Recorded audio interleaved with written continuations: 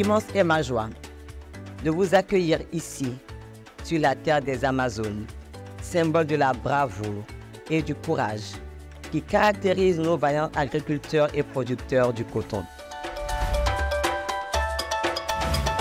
L'industrialisation de nos pays pour transformer nos matières premières, notamment le coton, afin de créer de la valeur ajoutée, afin de créer les emplois, n'est pas une urgence, c'est une exigence.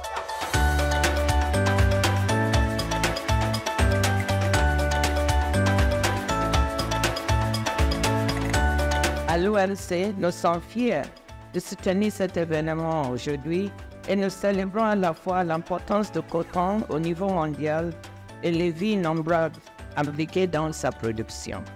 Mesdames et messieurs, le coton n'est pas seulement une fibre précieuse pour le commerce, c'est avant tout un moyen d'améliorer les conditions de vie de millions de nos producteurs à travers le monde.